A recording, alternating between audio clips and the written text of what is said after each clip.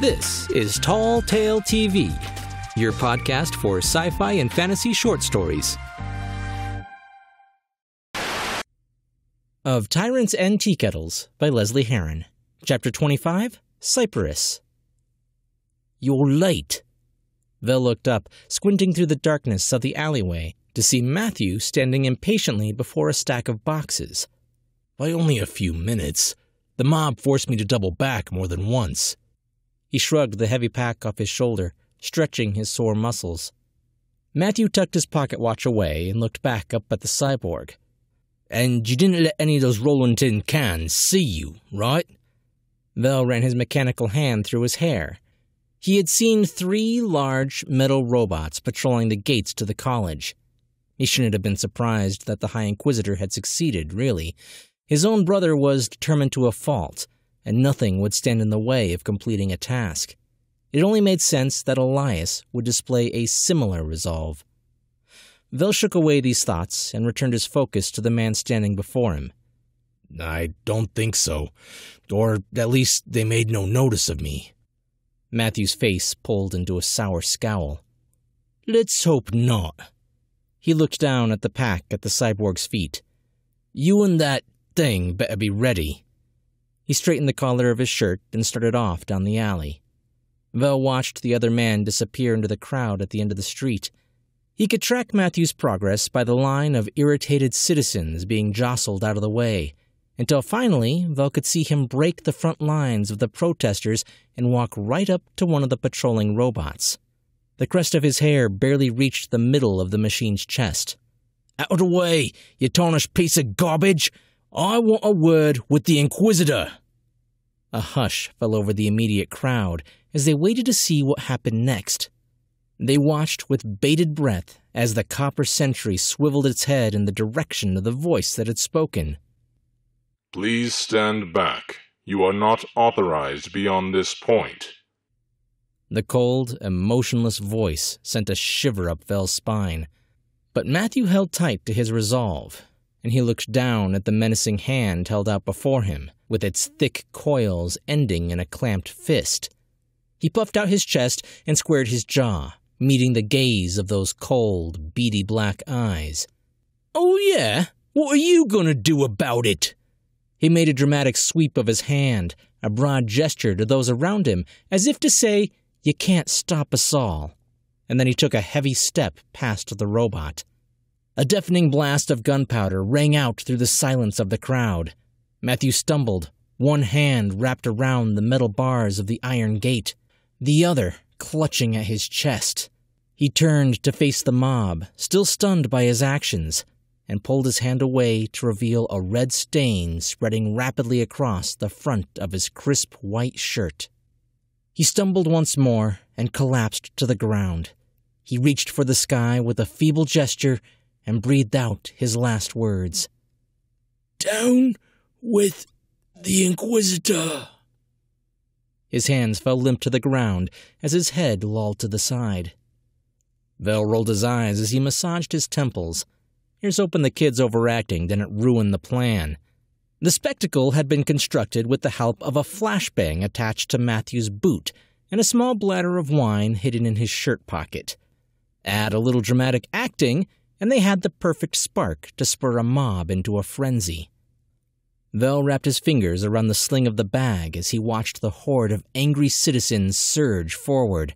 A palpable rage ripped down the alley as angry voices melded together to avenge their fallen compatriot. They were so hell bent on revenge that they didn't even notice Matthew scramble out of the way in order to not be trampled. Even the guards were taken aback by the mob, floundering in the wake of the deluge of angry cries. Distraction established, Vel hoisted the bag over his shoulder and began scaling the stack of crates. The plan was to make it into the college through a side entrance and create another diversion with the guards there, splitting their resources and pulling them away from certain areas of the college. Once on the last box, he jumped and his mechanical hand found purchase on the stone ledge. He peered up and down the length of the wall, squinting for any sign of red before throwing his legs over and landing neatly on the other side. He frowned a little as he glanced about. The map Atticus had scribbled from memory described his landing point as an old storage area. But the blades of grass that crunched beneath his boots and the strong, sweet smell of apple blossoms told him he was in the wrong place. Vel cursed as he tucked behind a large stone statue of a venerable looking man, wielding a wrench and a book. From his first glance, it appeared that he had landed in some sort of courtyard or campus retreat. Between a grove of trees was a massive bubbling fountain, several benches, and a winding gravel path. He looked around, checking that the coast was clear, before stepping onto the trimmed walkway. The path circled the water fountain and led back to a small, unassuming door tucked against a massive brick wall of the college. Amy, where the hell am I? I am unfamiliar with this area. Vel stopped, sliding the pack off his back. He began rummaging around for the map, careful not to disturb the tea kettle. Why didn't you make a scan of the area last time we were here? His fingers wrapped around a folded section of paper. I cannot map areas that are outside of your visual range. Of course not. Vel was about to chide his computer for the snark response when the door to the college opened. With no time to hide, he froze, hand still clutched around the paper. Halt. You are unauthorized to be in this area. Vel slowly turned, raising his hands as he came face to sternum with a blackened copper chest of a Berg replica. The robot's eyes flickered in quick succession as a small antenna array on its shoulder began to swivel. Unknown hostile detected in northeastern quadrant. Vel considered running, but was distracted by the bag at his feet, which started giving off the sound of rapid hissing. Admittedly, this had not been how Chester had imagined his first experience in the glittering floating city. With the little coin, they had managed to bypass most of the increased security around the school and descended into the wealthy streets of Avis without so much as a second glance. Now, despite strolling among the citizens of Avis Isle as though they belonged, Atticus had insisted they were on a tight schedule and that there was no time to stop and sightsee. Atticus, are you sure we don't have even a moment to spare? I'd really like to visit some of these shops. Chester slowed, licking his lips hungrily as his eyes fell across the window display full of golden jewelry. The glittering diamonds in the window alone could feed his army of children for six months. Atticus turned and tugged against Chester's shirt sleeve. No, come on. If we miss our window, we might not be able to get inside the workshop. Chester could tell that Atticus was in a panicked state. He sighed and fell in line beside the boy. You know, you don't have to do this, right? Atticus shook his head, climbing a cobblestone ramp that led up to the Inquisitor's estate. He had made it this far and wasn't about to give up. I have to. Chester tugged against the boy's shoulder, pulling him to a stop. It's going to be dangerous, and I understand that you are far more clever than I, but I assure you I can dismantle a few robots with ease. He pulled his hands away and moved them up to the boy's hat, adjusting it slightly. You can return to the library and let me handle the rest. No one would think you were a coward. They wouldn't even have to know. Atticus swatted away the fatherly gesture. You don't get it, do you? He turned and continued up the ramp, fishing around in his vest pocket for the silver key. I'll have to do this. It's not about being brave or stopping the Inquisitor. My best friend is in there, so it doesn't matter if it's dangerous. I need to save him. Chester pulled the silver key from his own pockets and handed it over to the boy. You know you're not going to find your friend in there, right? He's gone. Atticus gave a solemn nod as he took the key, the elevator now within sight. Of course I know that, but it doesn't matter. He's my family, and I can't leave him in there. It's scary being all alone. Chester sighed around his grit teeth. You have always been like a son to me, and I say this with the most amount of love I can. But right now, you're being stupid. Please, reconsider? Atticus pushed the key into the brass panel next to the glass doors. Sometimes People do stupid things for their family. Chester's shoulders slumped. Don't I know it? He tucked his hands into his pockets, ready to step through onto the gilded platform, when the ground beneath their feet gave a mighty tremble. He, along with everyone else in the area, stumbled slightly. He met eyes with the boy and nodded. Appears our timetable has just moved up. Alphonse adjusted his coat, dusting off the shoulders as he did. He straightened his back when the sound of hurried footsteps caught his attention.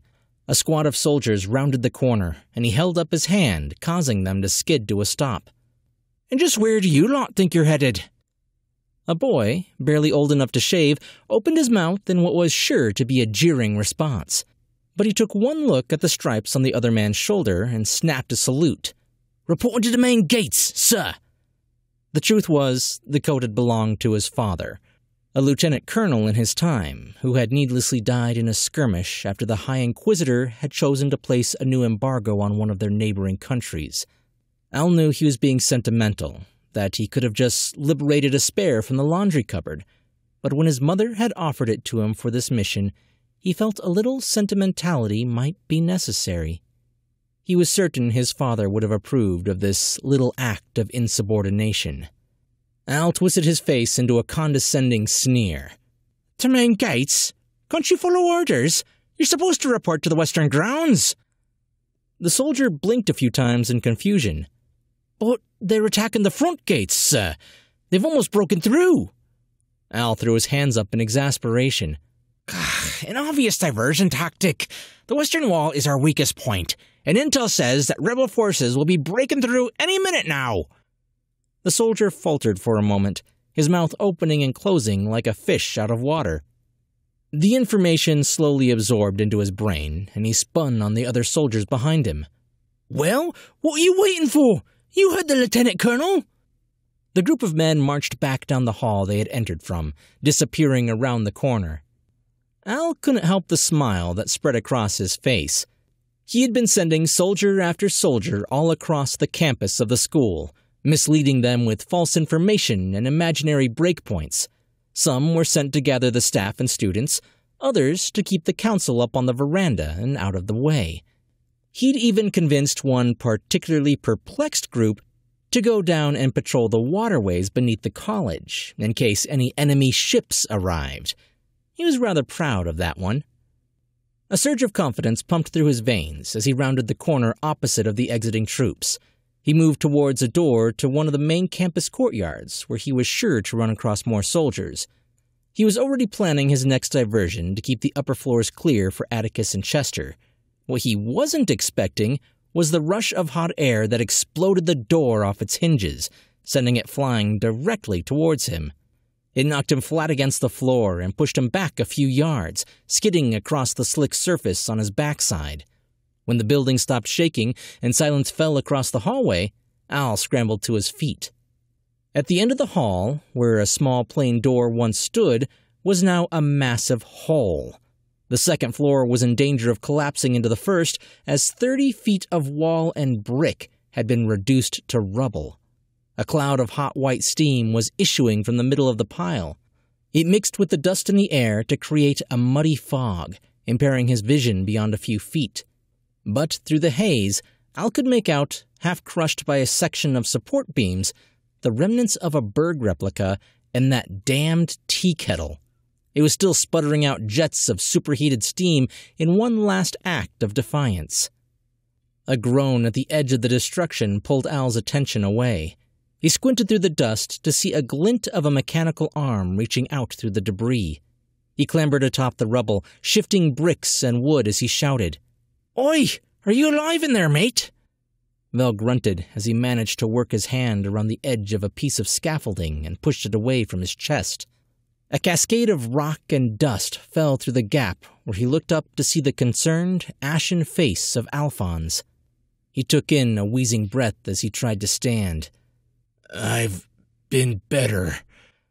Al seized the cyborg's forearm and helped him up out of the gap in the pile. You're early and in the wrong spot. What happened? Vel scrubbed at his scalp with both hands, removing the dust and gravel from his hair. He looked around for a moment, coughing a little as he did. He pointed down to the set of mangled shreds near his feet. One of the bots surprised me, and then that stupid tea kettle just went off all on its own. He gave an overdramatic gesture at his surroundings. Al's ears turned a shade of pink. Oh, same thing happened to Berg once. Nearly took his head clean off. He reached out and dusted off the cyborg's shoulders. Atticus called it radio frequency interference, or something like that. Vel slapped away Al's hands. Thanks for warning me. Yeah, but there's a bigger problem now. That tea kettle was supposed to be our exit strategy. Now what do we do? Several half uniformed soldiers rounded a different corner, skidding to a halt at the sight of Al's stripes. They snapped into a salute, but couldn't help their curiosity from peaking. We heard an explosion, sir. Is everything all right? Al cleared his throat as he marched forward to address the boys. Why aren't you lot dressed and heading to the evacuation point? This isn't a time for slacking. Sorry, sir. We just got out of class. What evacuation point? There's a bleeding riot going on, and you're off learning your ABCs. Get your gear in order and have your squad round up any and all remaining staff and report to the western dormitories. Al couldn't keep the beads of sweat from forming on his forehead. This had been the most lying he'd done since his mother had bumped into him chatting up a working girl in the no guard district. The soldier caught a shift of movement in the hazy cloud and leaned forward to get a better look at Vel. Who is that? Oh, I see. So you think I earned these? Al jabbed at his father's stripes with a finger, moving within an inch of the man's face. Just to have my subordinates ignore a direct order. The soldier paled at the fury of his commanding officer and leaned away. D no, sir. Then get to it. Al thrust his hand in the direction of the hall the boys had come from, and before he could even add to his threat, they were gone. Vel clamped a hand on Al's shoulder. Good work. Let's get out of here, though. They can't be the only ones that heard that. Al nodded. Eh, except you don't look like you belong here. Take this. He began undoing the silver fastens of the coat before sliding it off his shoulders. Vel reached out, but in a moment of hesitation pulled his hand away. I, uh, I really don't have a good track record when it comes to coats. Al laughed.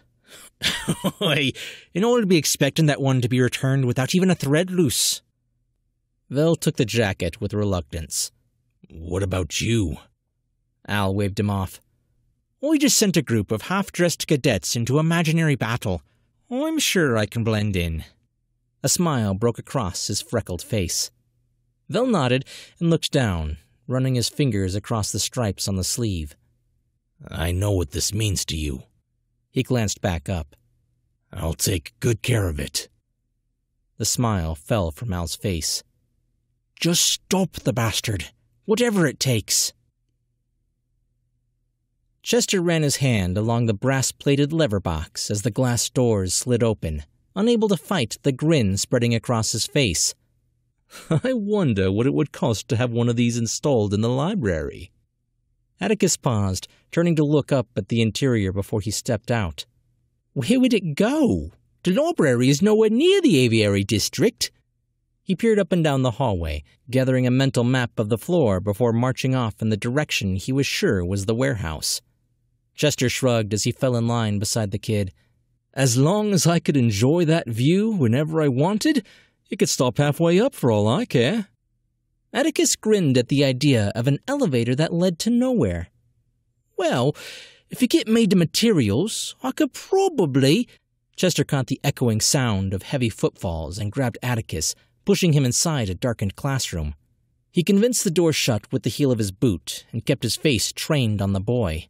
He pushed a finger to his own lips, urging him to remain quiet. From the sound of it, troops were ushering out a large group of unwilling professors, explaining to them that all personnel must proceed to a so called evacuation point, regardless of their irritation level. Once the silence in the hall returned, Chester cracked open the door to check if they were safe to leave. He stiffened as the shadow of both of the Inquisitor's guards fell across the door They paused for a moment before continuing on down the corridor, keeping in line with the evacuating group. A sigh of relief escaped Chester's pursed lips. Coast is clear. Do you know which way to go? Atticus nodded and led them from the room. He turned down a long, empty hall, looking about as if to gather his bearings. They clung to the walls, ready to duck into a nearby classroom should another group of soldiers arrive, but none came. They were alone in the darkened corridors of this floor of the university. Atticus stopped in front of the set of large metal doors that he and Vel had marched through so proudly not but a week earlier. His hands trembled as he reached out, fear overtaking him at what he might find inside. He pushed against the metal doors, and they didn't budge. Frowning, he leaned against them harder this time. Still nothing. Atticus turned, his face falling as he did. They're locked. That never ceasing smile only widened on Chester's face. Allow me. He stepped forward, nudging the boy aside as he reached into a pocket of his vest. He pulled out the small, ornately crafted mechanical spider. He lifted the beast to the keyhole and prodded it into action. The dainty creature twitched for a moment, its little head swiveling left then right, before it stuck out one of its many legs. It began to explore the inner workings of the lock, lifting and lowering its leg until a resounding click echoed through the door. The spider pulled away and sat back in the middle of Chester's palm. Atticus's brow shot up, disappearing into his hat. He leaned over, squinting at the tiny golden bug. I didn't know it could do that. If a mechanical spider could look smug, this one was doing a great impression of it. Chester chuckled as he pocketed the creature once more. Oh, I did. That's why I had you procure it for me. He pushed against the metal doors, and they swung open without argument. As the two stepped into the room, they were engulfed by darkness, broken in spots by flickering flood lamps. Many had been toppled in the aftermath of the students' forced evacuation. Long shadows stretched out from beneath the dozens of still and lifeless metal forms that lined the length of the warehouse. Empty bodies that eagerly awaited the touch of artificial life. Life that had been stolen from another. Atticus approached the table that still held the remains of Berg. A flood of horror washed over him as his eyes fell across a tangle of wires and coils that extended out from the brass chassis that made up his friend's chest cavity. The long cables were connected to the gearbox of the portal machine. Atticus blinked away the sparkle of tears in his eyes as he swallowed down the bile rising in his throat. His teacher had torn his friend apart, reverse engineering everything that made him unique and reduced him to a glorified calculator. He steadied himself with a slow intake of breath. It's okay, buddy. I'm here now. Chester placed a hand on the boy's shoulder. He didn't quite understand the bond those two shared, but he respected it nonetheless. Berg would be happy that you came back for him, but let's honor his memory by first putting a stop to these things and your teacher. Atticus nodded, pulling his hand away from the cold metal. He turned to face the nearest robot, glaring up into its cold, dead eyes with an unknown fury that was new to him. There's only one Berg. Sir, it would appear as if the riots have hit a breaking point. Elias didn't need the information tragedy had just relayed to him. He was standing in the foyer of his college, watching guards scramble around him to barricade the doors. He had his hands tucked in his pockets as he observed the chaos unfolding before him. Citizens were railing against the front gates, chanting and shouting. It wouldn't be long before they broke through, and fires were sure to follow. Comedy stepped forward, lowering her head a little as she spoke. Sir, the gates are being held by your mechanical forces, but we don't know for how long. We should get you out of here before that happens. Elias sighed, keeping his eyes trained on the guards that continued to spill out from behind him, adding chairs, desks, and anything else they could find to the barricade. What about our reserves? Tragedy looked behind him, down the empty hall. The majority have been ordered to the Western Wall, and many others are currently unaccounted for. Elias turned on his heel. Then order them back here, now! Each word was forced from his throat as he was unable to curb the rage boiling from within. We've tried, sir. Comedy kept her gaze on the ground. They won't abandon the personnel, and they said that the bulk of the attack was to happen at that wall. She looked up at the cold fury raging in the Inquisitor's eyes. Even the Council is evacuating, sir. Elias could feel a muscle tense in his face with every hammering sound of rebellion against his metal machines. He slammed his hand against the wall, feeling it crack beneath his knuckles. He remained this way for several long moments as he coerced his breathing to a normal rhythm. Elias pulled his hand away and tucked it behind him, ignoring the blood seeping between his fingers. Then I shall order them personally. He spun and began stalking down one of the halls that would lead him to the western end of the college. If I may, sir. Tragedy fell in line, placing himself between his twin and the Inquisitor as they walked. The riots will not disperse without the right motivation to do so. What are you implying? Show the citizens that you will not remain tolerant to their acts of disobedience. Give them a display of dominance one that will make them reassess their little rebellion. Elias pulled away, almost recoiling at the thought. Are you suggesting that I authorize lethal force on my own citizens?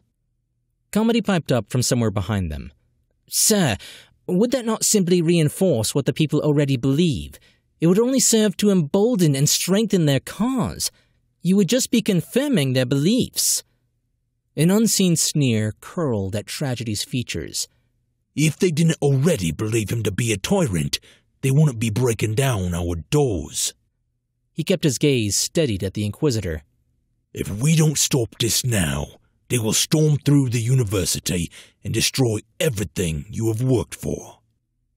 Elias slowed to a stop, the options warring within his mind. He studied the blank floor before him for a long moment. One act of aggression to buy us enough time. He chewed on his words, mulling them over before adding, We will activate the remainder of the robots, but the lives lost now will save more in the future. Oh, how the mighty have fallen. The trio looked up at the source of the chiding mockery. Vel was leaning against the wall at the end of the corridor, shaking his head with a disapproving stare. Elias's brow furrowed as he felt the realization crash into him. All of this was you? A smug smile broke over Vel's features. Brick by brick, remember? Of Tyrants and Teakettles is Book 2 of the ongoing sci fantasy series by author Lesley Herron Join us as the adventure unfolds with new chapters releasing every few weeks.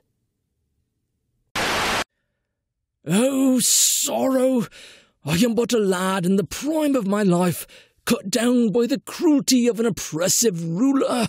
Um, Matthew. How cruel is the hand of fate! Oh, he's not done. For I shall know not another summer or true love's kiss. Goodbye, my people. Remember my sacrifice. right. Um, Matthew, do you really feel this speech is necessary? Normally, people don't take that long to die, nor do they do so with so much poetry. You said we needed to stir the emotions of the crowd. That's what I'm doing.